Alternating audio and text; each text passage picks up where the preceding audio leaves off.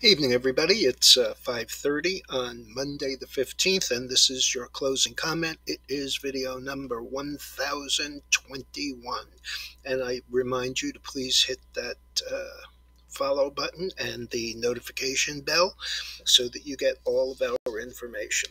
Okay, it was kind of an interesting day today. Uh, we started about a little to the upside um, and then turned down turned down actually pretty hard, uh, especially in the uh, NASDAQ mega cap stocks.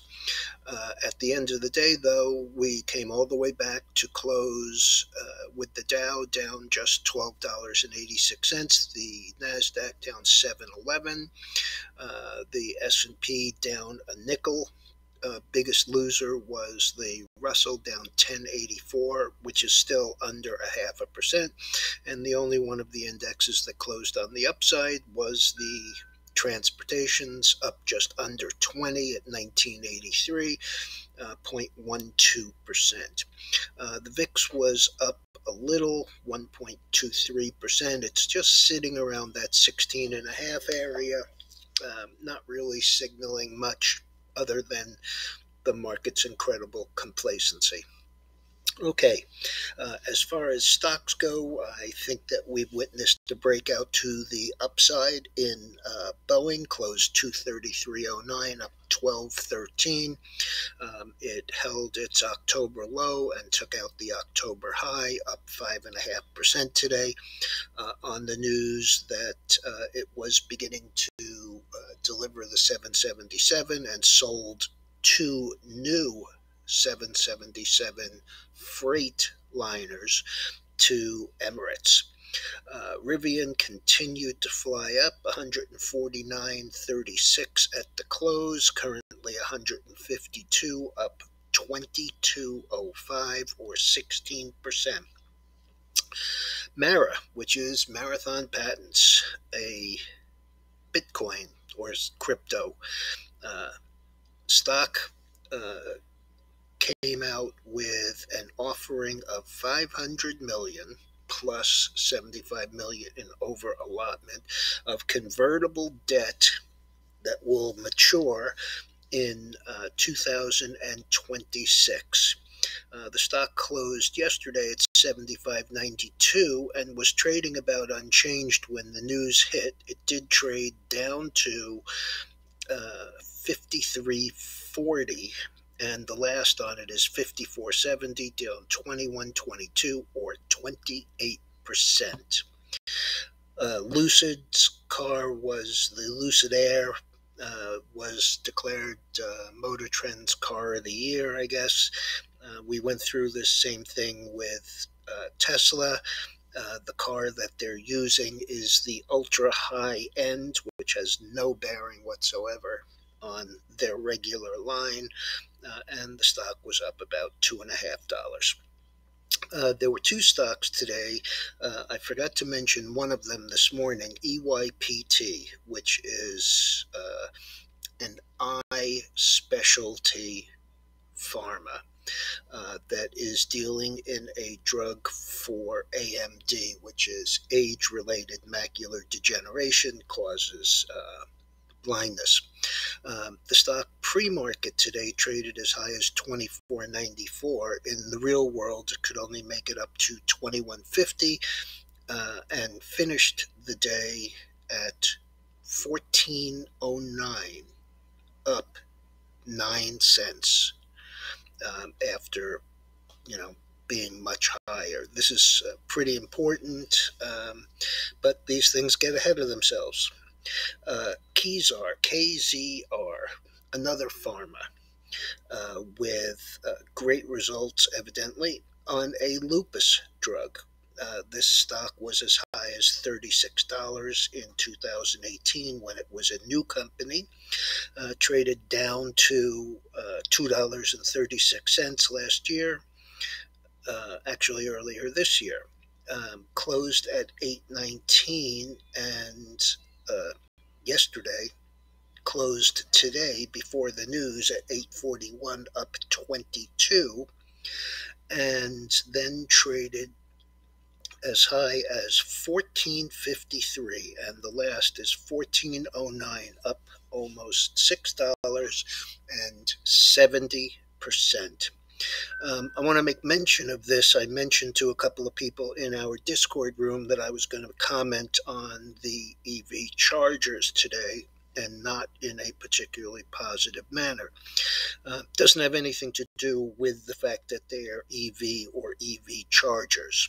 What it has to do with is any new industry, anything that comes in the public eye and is investable, tends to trade at some fairly ludicrous levels. Um, it happens with 3D printing which has never recovered. It happens with the pot stocks. I'll go on record and say Tilray will never trade 300 again. Um, and so what happens is you get these areas of high concentration, something new, and they get bid up. I'm not saying that the EV space or the EV charging space is at or near its high. What I am saying is that these things tend to move much further, much faster, and when they come crashing back down to earth, as they inevitably do, because they need to grow into their market caps, it can take a very long time. As I said, Tilray traded 300. Um, that was back in, uh, let's see, that was back in 2018. September of 2018, the stock traded 300. It has since traded back down to in the neighborhood of two and a half dollars. Uh, had a rally earlier this year up to 67. Great rally, nowhere near 300 and now it's settled back in and it's trading about $13. So, um, you know, you see my point.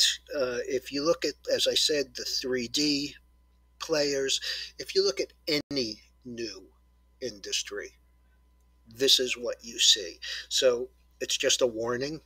That's all I'm saying.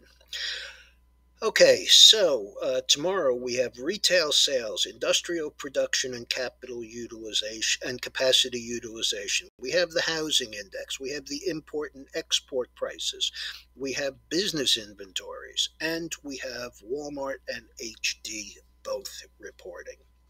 So there's plenty to look at. Um, the chart on the screen is the oil I still think it's going to be much higher, but uh, I was really kind of hoping we'd get back down into this $77 area. Uh, we only closed up 9 cents on it, and that was towards the high end of the range. Um, we did the same thing um, on Thursday, we did the same thing on Friday, and yet we made new lows the next day in all three. So uh, that's what I'm looking at there. I think that the uh, gold is acting incredibly well. Uh, it was down $1.90 today. The dollar has been very strong. And so the fact that gold is moving up says something about that market. It is consolidating across here. Uh, we are solidly through the downtrend line. And, uh, but we are you know, I have to admit, we are into some heavy supply all the way from uh, 1885, 1887 up to that uh, 1910, 1920 area. Um, but still, 1866 60 to 1900 is still $34, and that's a pretty solid move for any commodity. Bitcoin uh, had kind of what I would call a quiet day. It was stronger uh, and then sold off pretty hard. It finished down uh, three and a quarter.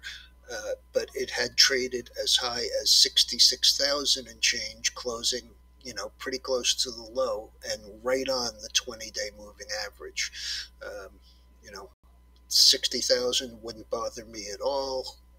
In fact, 59,000 wouldn't bother me at all, uh, but I'd rather see it uh, hold this uh, just under 61,000 and start back up.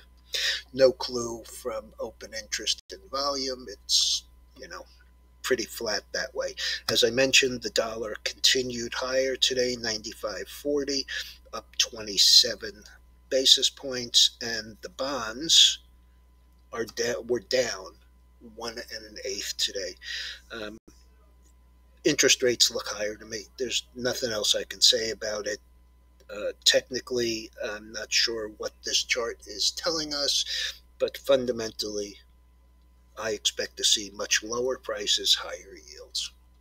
Have a good evening, everyone. I'll be back in the